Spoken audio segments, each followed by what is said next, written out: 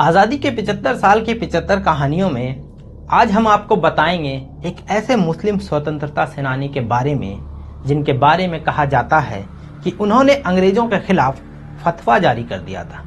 अंग्रेज़ों की फौज में भर्ती होना हराम है। उस स्वतंत्रता सेनानी का नाम मौलाना हुसैन अहमद मदनी है।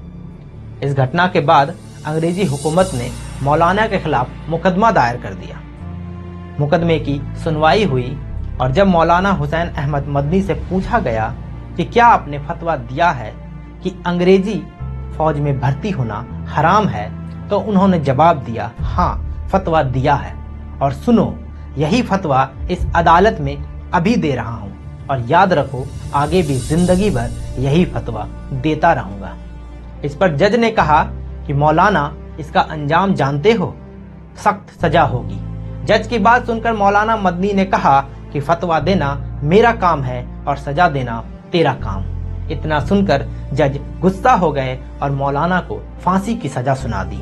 इस पर मौलाना ने मुस्कुराते हुए अपनी झोली से एक कपड़ा निकालकर मेज पर रख दिया और जज से पूछने पर बोला, ये मेरा कफन है। इस घटना के बाद लोगों में ऐसी आग लगी कि हज़ारों लोगों ने फौज की नौकरी छोड़कर देश की आज़ादी में शामिल हो गए। तो ये थी उस स्वतंत्रता सेनानी मौलाना हुसैन अहमद मदनी की कहानी, जिनके एक फतवे ने हज़ारों लोगों को आज़ादी की जंग में लड़ने के लिए प्रेरित किया। तो इस कहानी में इतना ही, बाकी ऐसी कहानियों के लिए बने रहे मेरे साथ और देखते रहे जी मीडिया का डिजिटल प्लेटफॉर्म।